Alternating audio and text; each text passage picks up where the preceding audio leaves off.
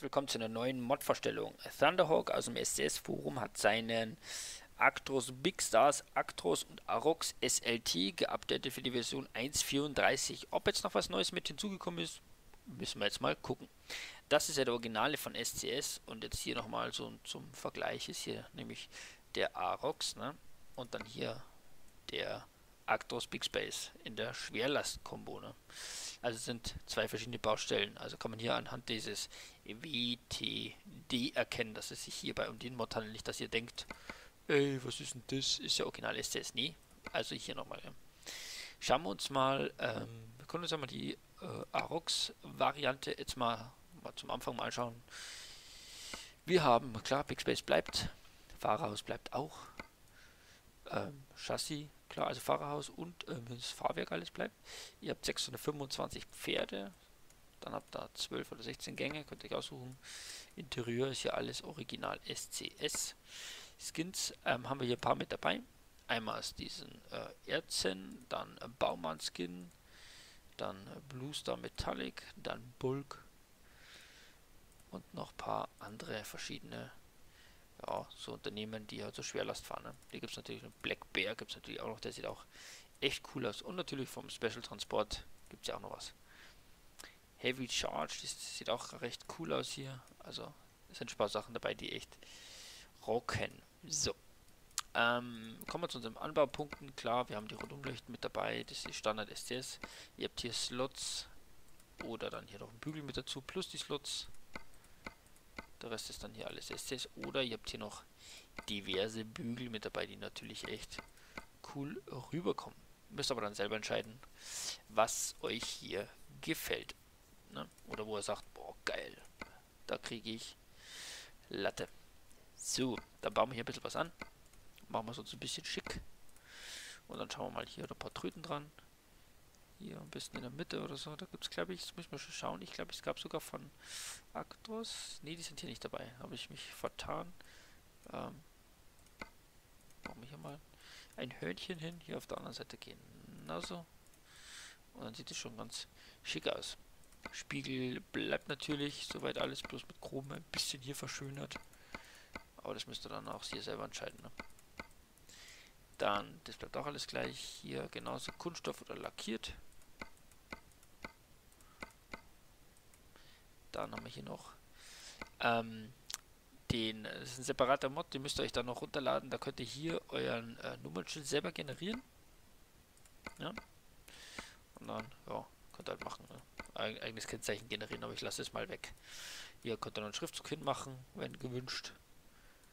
Hier habt ihr noch verschiedene Zeichen, Schwertransport und hast nicht gesehen, das dann hier auf verschiedenen Stellen hier oben platziert wird gibt es auch hier in kleine Ausführungen. Ne?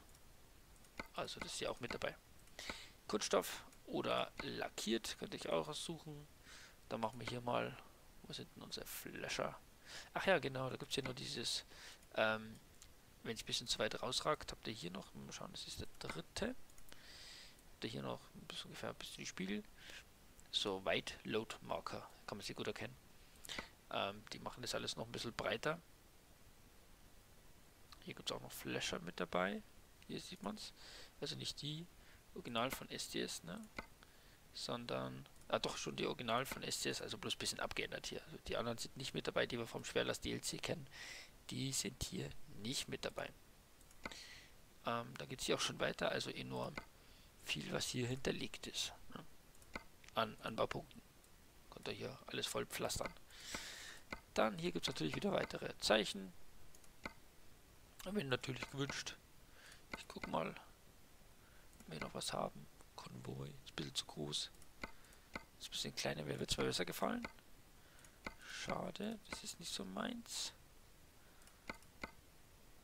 Das alles so versteckt ist hier. Lassen wir es mal weg, aber ihr wisst zumindest, dass es hier gibt. Dann gibt es hier noch einen kleinen Schmutzfänger, den lassen wir mal weg. verschiedene Cover-Varianten und hier nochmal das Kennzeichen, aber das lasse ich jetzt auch mal weg. Aber wie schon gesagt, müsst ihr halt dann selber scannen. Hier könnt ihr den Schriftzug nochmal abändern hier, beziehungsweise weglassen. Kunststoff oder lackiert. Da gibt es auch nichts, das bleibt gleich. Hier könnt ihr auch Zeichen wegmachen. HP, LP, dann habt ihr so eine Box mit dabei, die mir sehr gut gefällt. Die finde ich ganz gut. Ihr habt dann auch, das dann auf der Seite kann man es besser kennen. Open, Closed, lackiert, Kunststoff und, und, und. Der Tower bleibt natürlich, logisch. Dann gibt es hier noch ja, diese Variante. Gefällt mir jetzt persönlich nicht, aber das ist halt Geschmackssache. So, dann habt ihr hier noch den Anschluss, der aber glaube ich nicht funktioniert. Ne. Textur Original oder dann hier der Generator. Gibt es ähm, über den Steam Workshop gibt es einen separaten äh, Link. Und dann könnt ihr euch das runterladen, dann könnt ihr da selber Kennzeichen generieren, aber ich lasse es jetzt wie schon gesagt mal weg, Mausen vorlassen. Ähm, Im Interieur habt ihr natürlich Kabinen-DLC, logisch, ähm, müsst ihr auch separat runterladen, das findet ihr aber alles dann ähm, auf dieser Steam-Seite. Und dann könnt ihr euch das dann separat, ich tue es nochmal verlinken, dann könnt ihr da genauer gucken. Dann könnt ihr euch das runterladen und dann hier Kabinen-DLC nutzen, weil wer sich das nicht runterladet, der kann hier auch kein Kabinen-DLC ähm, hier nutzen, ne? ganz wichtig. Genau, und dann sind wir eigentlich hier auch schon fast durch, weil soweit alles hier funktioniert hat. Wir schauen uns noch schnell den Actros an, ganz kurz. Den gibt es einmal als Big Space und als Gigaspace, das ist ganz cool. Hier auch die Variante verlängert. 3,30 Meter oder 3,90 Meter. Dann, das bleibt alles gleich, wie beim anderen LKW-Interieur bleibt natürlich auch gleich. Hier sind auch der Baumann-Skin und äh, Max Bügel drin und Vossmann Logistik. Und dann halt dann hier diese Skins noch. Ansonsten bleibt hier im Prinzip das gleiche. Auch die Slots, wie vorher auch beim Arox. Ne? Die bleiben euch hier genauso sogar mehr Anbaupunkte, aber die 7212, aber sieht er selber. Ansonsten bloß mal kurz durchschauen, was wir hier noch vielleicht verändert haben. Das ist auch eben die ganzen Logos. Haben wir vorher schon gesehen. Dann hier habt ihr eure Anbaupunkte genauso wie hier. Das ist das gleiche, ein bisschen strukturierter. Aber ansonsten sieht es auch ganz gut aus. Dann gibt es hier lackiert. Dann auch mit dieser Front mit dabei. Mit diesem Cover. Sieht auch ganz schick aus. Hier gibt es ein bisschen mehr. Ähm, Frontschutzbügel, bloß die sind halt dann nicht kompatibel mit dem vorderen Anbau, aber müsst halt dann wegmachen, logisch, ne? Genau. Aber ansonsten bleibt sich das hier alles gleich. Auch hier hinten dann die Platte. Kunststoff Open. Das ist das im Prinzip das gleiche wie beim Arox und äh, Kabinen-DLC und das gleiche Interieur. Das habt ihr ja gerade gesehen. Das ist dann auch gleich. So, starten wir unseren dicken Diesel.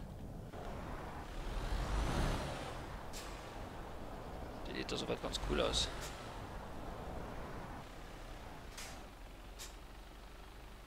Der gefällt doch.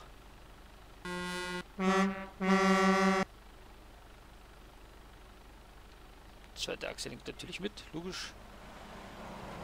Und sieht echt cool aus. Jetzt schauen wir uns natürlich noch ähm, den Nachtmodus an. So, starten wir mal. Also hier unser Standlicht. Abblendlicht, Fernlicht. Das ist aber ganz cool, ist auch hier diese White Load Marker hier gut zu erkennen. Die dann natürlich auf der Seite rot leuchten. Ne? Ja, hier sieht man es ein bisschen.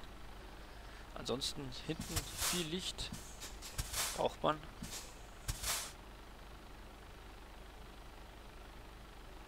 Und passt auch so die ähm, diese da habt ihr ja gesehen, da gibt es ewig viele Anbaupunkte, die könnt ihr setzen, wohin ihr wollt, wie viel ihr wollt.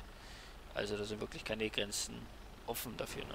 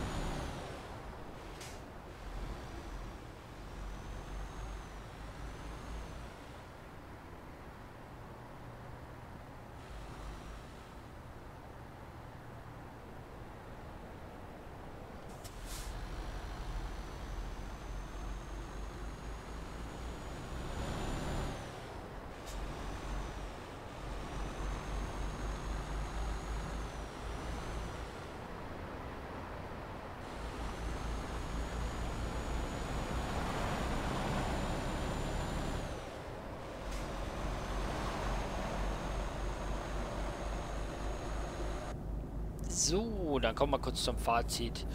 Zum äh, Big Stars Arox oder halt vom äh, zum Actros. Könnt ihr euch dann dementsprechend hier aussuchen, finde ich ganz schick. Habt ihr hier zweierlei Varianten mit dabei.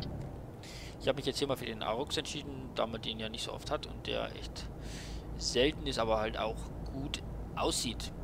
Anbaumöglichkeiten haben sie relativ viele Slots oben auf dem Dach mit den Bügeln oder halt Slots pur. Könnt ihr euch aussuchen. Finde ich ganz schön.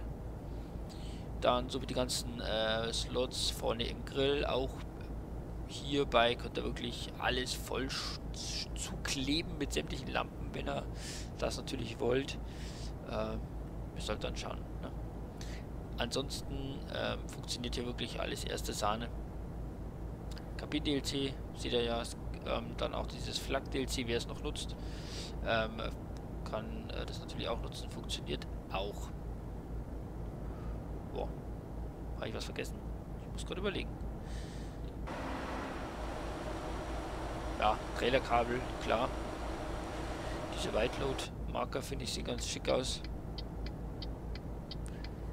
Die gefallen mir auch recht gut.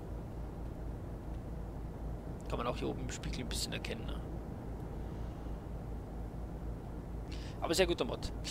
Ähm, falls ihr Fragen dazu habt, dann dürft ihr das gerne machen. Einmal hier oder im SCS-Forum nachfragen. Alles verlinkt natürlich. Und ansonsten wie immer Daumen da lassen und natürlich ein Abo für meinen Kanal, wer es noch nicht gemacht hat. Dann wünsche ich euch viel Spaß damit. Und wie immer, eine gute Fahrt. Macht's gut, bis bald und ciao.